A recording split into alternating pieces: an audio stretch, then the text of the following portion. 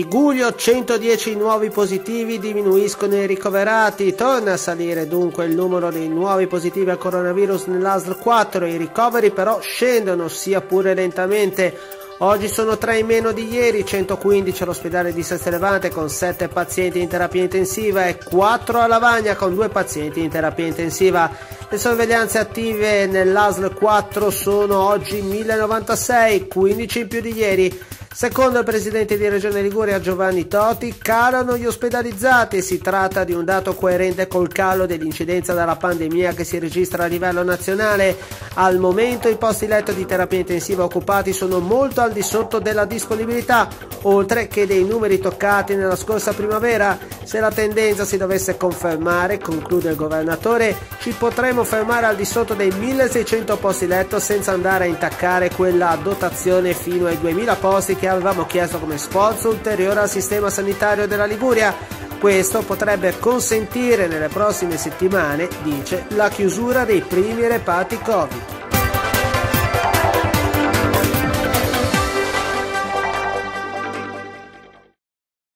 Torna a salire il numero dei nuovi positivi al coronavirus nel Tiguglio Ieri erano 87, oggi 110. Di questi 35 sono frutto di segnalazioni al Dipartimento di Prevenzione, 13 sono conferme di tamponi antigenici rapidi già positivi, 11 sono nuovi casi all'interno delle case di riposo, 11 sono contatti di casi positivi e 4 arrivano dalle scuole. I ricoveri però scendono, sia pure lentamente, nel Tiguglio. Oggi sono 3 in meno rispetto alla giornata di ieri, 115 all'ospedale di Sestri Levante con 7 pazienti in terapia intensiva e 4 persone al nosocomio di Lavagna con 2 pazienti in terapia intensiva. Le sorveglianze attive nel territorio dell'Astra 4 infine sono 1096, 15 in più di ieri. Calano gli ospedalizzati e si tratta di un dato coerente col calo dell'incidenza della pandemia che si registra a livello nazionale, dice il presidente di Regione Liguria Giovanni Toti. Al momento i posti letto di terapia intensiva occupati sono molto al di sotto della disponibilità, oltre che dei numeri toccati della scorsa primavera. Se la tendenza si dovesse confermare, ci potremmo fermare al di sotto dei 1600 posti letto senza andare a intaccare quella dotazione fino ai 2000 posti che avevamo chiesto come sforzo ulteriore al sistema sanitario regionale. Questo, conclude il governatore, potrebbe consentire nelle prossime settimane la chiusura dei primi reparti Covid. Da oggi al via il progetto varato da Regione Liguria in collaborazione con le attività produttive e le associazioni di categoria della Regione che prevede una serie di misure studiate per gli anziani al fine di proteggerli e indurli ad andare a fare gli acquisti nelle fasce orarie che in base alle tipologie di esercizi commerciali sono quelle meno affollate.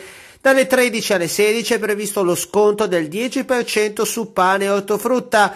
Nel Tiguglio ciò avviene nei punti vendita Basco di Rapallo, Chiavari e San Salvatore di Cogorno e negli Ecom di Rapallo, Chiavari, Sestri Levante e Santa Margherita Ligure. Possono aderire anche i negozi di vicinato con uno sconto del 5% sugli stessi prodotti. I negozi di vicinato al dettaglio, macellerie, panifici, ortofrutta, se aderiscono, applicano lo sconto del 5% ma nella fascia oraria del primo mattino. I negozi che abbracciano l'iniziativa sono riconoscibili dall'esposizione della relativa locandina. Anche Coop Liguria aderisce all'iniziativa di sostegno alla spesa fuori orario per gli over 65. Coop annuncia infatti una modalità diversa, consegna della spesa a domicilio gratuitamente una volta a settimana a tutte le persone che come detto hanno più di 65 anni. Sulla decisione di Regione Liguria e del suo governatore Giovanni Toti di privatizzare una parte dell'ospedale di Nostra Signora di Montalegro a Rapallo, è critico anche il meetup 5 Stelle di Santa Margherita Ligure. Tutto questo, dicono i pentastellati sammargheritesi, dimostra il fallimento e l'incapacità di un governatore che dovrebbe ascoltare i cittadini e farne l'interesse e non fare, attraverso gare europee, l'interesse della sanità privata.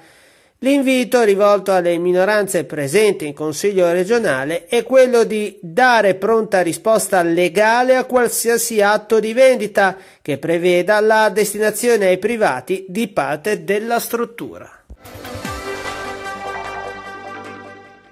Altra mattinata da dimenticare oggi sulla 12 Genova-Sestri Levante dove il traffico è rimasto a lungo bloccato attorno alle 8 in entrambe le direzioni a causa di un incidente avvenuto vicino al casello di Recco al chilometro 21 in prossimità di uno scambio di carreggiata.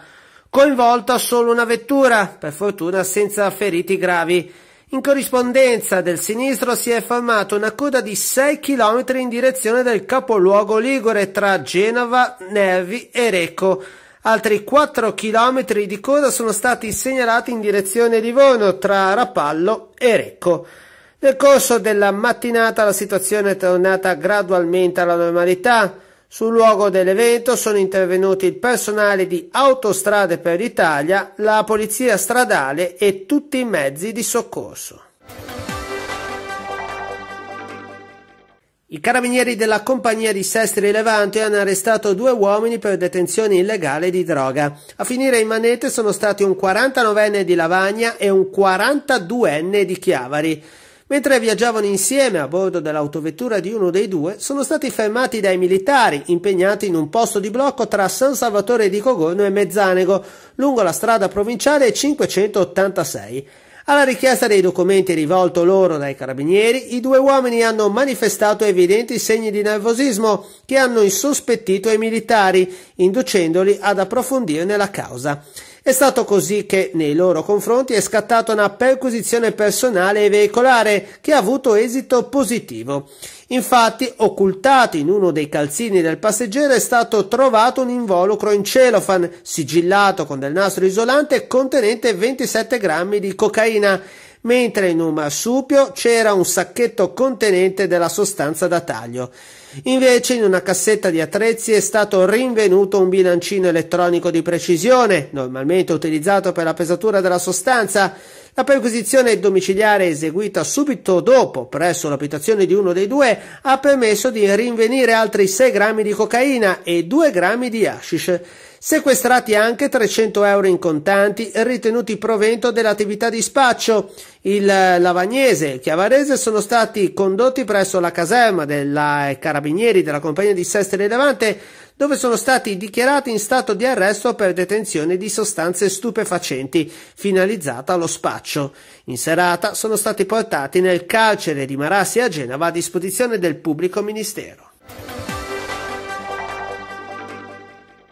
Sono terminate le procedure di affidamento dei lavori di riqualificazione energetica dell'involucro edilizio e degli impianti tecnici dello stabile di Corso Brizzolara 5 a Chiavari, al cui interno trovano sede il commissariato di polizia e il distaccamento di polizia stradale.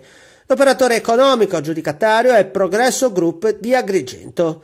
Le operazioni di ristrutturazione ed efficientamento energetico della struttura di proprietà comunale sono attese da anni. Dalla sua costruzione non sono mai stati eseguiti interventi così radicali di rinnovo e ottimizzazione dei consumi. Un importante risultato che permetterà una maggiore vivibilità degli ambienti e minori spese di gestione, spiega il sindaco di Chiavari Marco di Capua. Il costo complessivo dell'opera è di 903.000 euro, ma grazie alla ricerca di finanziamenti che ho seguito in prima persona costerà alle casse comunali solo 113.000 euro. Infatti la Filse ha erogato un contributo a fondo perduto di circa 586.000 euro, mentre il GSE di circa 202.000 euro Verrà rifatto l'impianto di riscaldamento, installati pannelli solari termici e fotovoltaici, realizzata una nuova facciata ventilata e sostituiti i serramenti. Si proseguirà, conclude il primo cittadino, con l'isolamento termico del garage e la realizzazione di nuovi controsoffitti.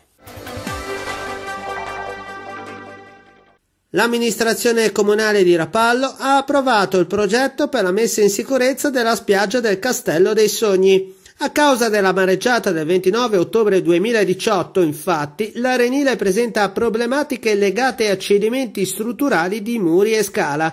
Quest'ultima passerà dagli attuali 90 a 120 cm, per migliorare la fruibilità e aumentare il livello di sicurezza. Il progetto prevede inoltre la sistemazione della fascia e del versante dissestati mediante potatura delle alberature esistenti e ripiantumazioni. Allo studio per il futuro ci sono interventi di messa in sicurezza anche in mare. Le opere prevedono il fedele ripristino dello stato dei luoghi nella condizione precedente alla mareggiata di ottobre 2018, dice l'assessore comunale ai lavori pubblici Filippo Lasinio e sarà di nuovo accessibile per la prossima estate la spiaggia degli Archi a San Michele di Pagana, interdetta dalla mareggiata di due anni fa. La giunta comunale di Rapallo ha approvato il progetto definitivo ed esecutivo che prevede il rifacimento del muraglione di contenimento lungo la strada di San Michele e del moletto portato via dalle onde. Si tratta di lavori per 351.000 euro finanziati con fondi di protezione civile regionale.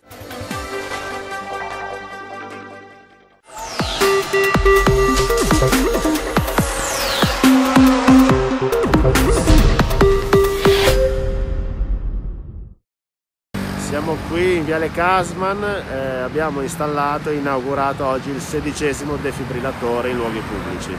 Abbiamo creato una, una rete capillare salvavita in tutto il nostro territorio, siamo qui in una zona strategica, siamo al confine con Lavagna, siamo quindi in un quartiere cosiddetto periferico, lungo l'Entella dove tanta gente viene anche a passeggiare. Il prossimo, settimana prossima stiamo completando le pratiche, verrà installato sempre lungo fiume però più a, più a monte vicino a Caperana, quindi una rete capillare salvavita perché la tempestività in caso di arresto cardiocircolatorio è fondamentale.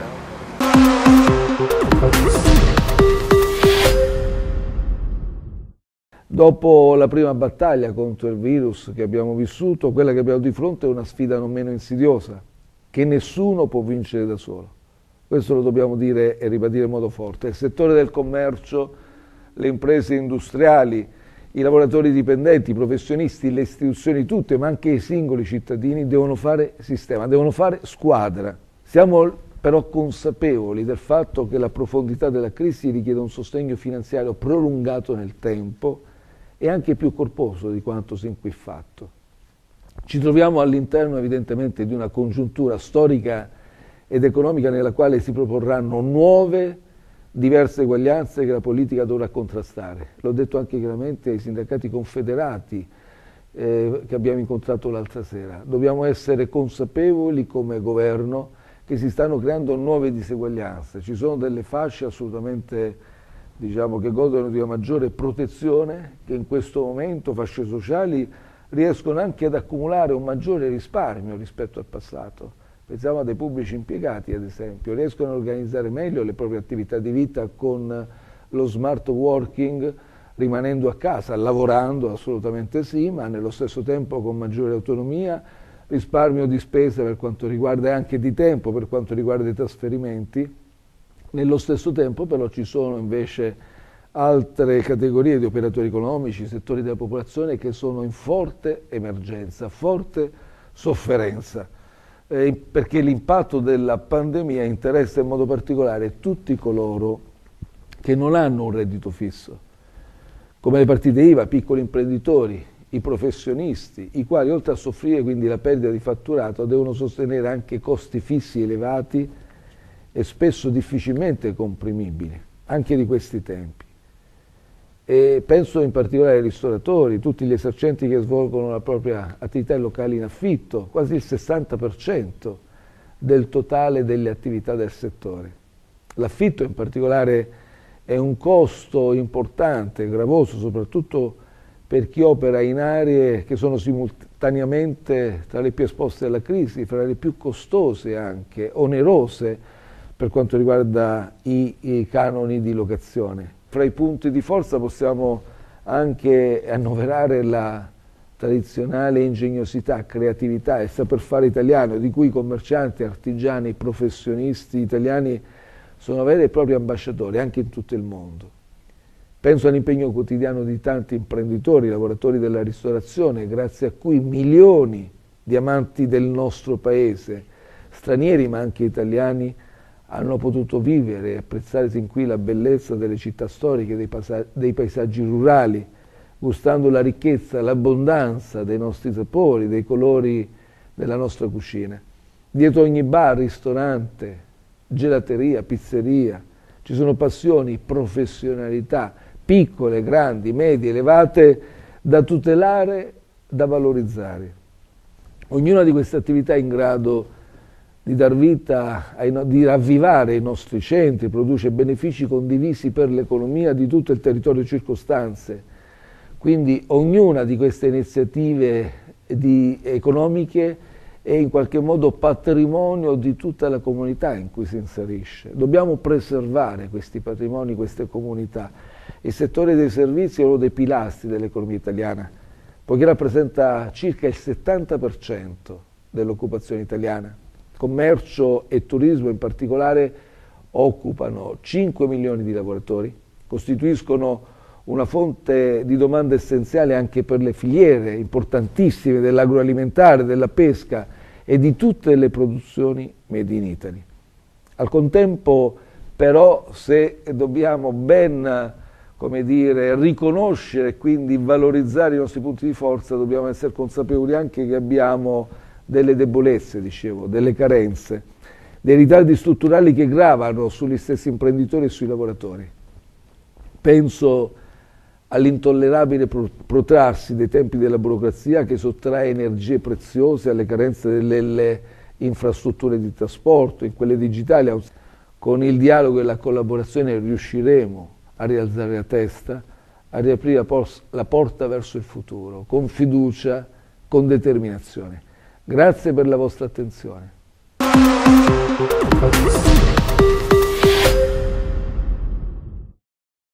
Durissima la presa di posizione di REA, Radio Televisione Europea Associate, ovvero l'Associazione delle emittenti locali dell'Unione Europea, nei confronti del decreto emanato dal Ministero dello Sviluppo Economico per l'assegnazione di 50 milioni di euro complessivi agli organi di informazione radiotelevisivi come contributo straordinario per la divulgazione delle direttive e dei dati relativi alla pandemia Covid-19.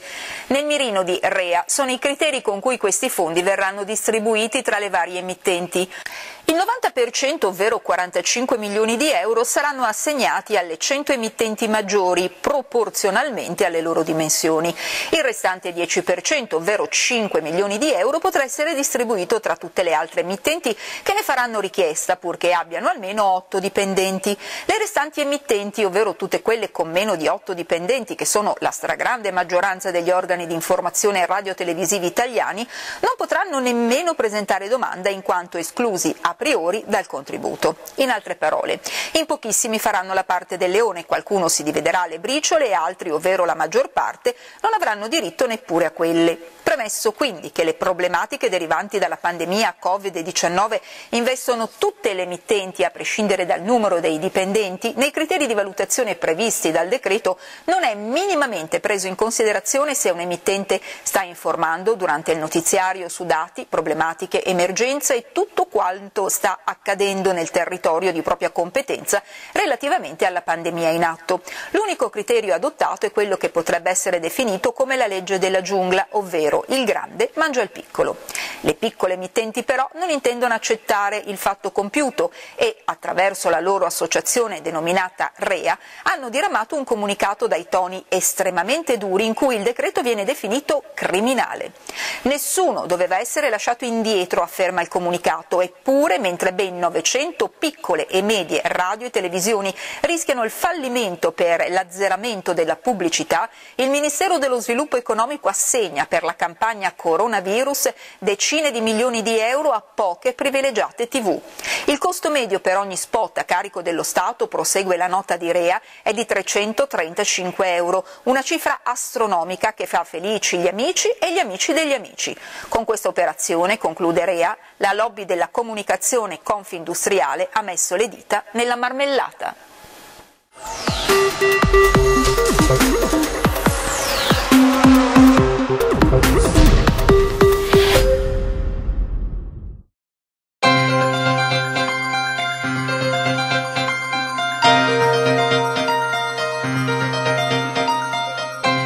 Previsioni per domani venerdì 20 novembre. Fino al mattino nubi medio-alte. con possibili deboli precipitazioni. Sereno ovunque dal pomeriggio. Venti forti o di burrasca da nord al mattino, con raffiche fino a burrasca forte sui rilievi centrali. Imparziale attenuazione nel pomeriggio. Nuovo rinforzo da nord-est in serata. Mare generalmente mosso, localmente mosso sui capi esposti di ponente, in calo fino a poco mosso a levante, fino ad agitato al largo. Umidità su valori medio-bassi. Le temperature previste. Sulla costa tra 10 e 15 gradi, nell'entroterra tra 3 e 12 gradi.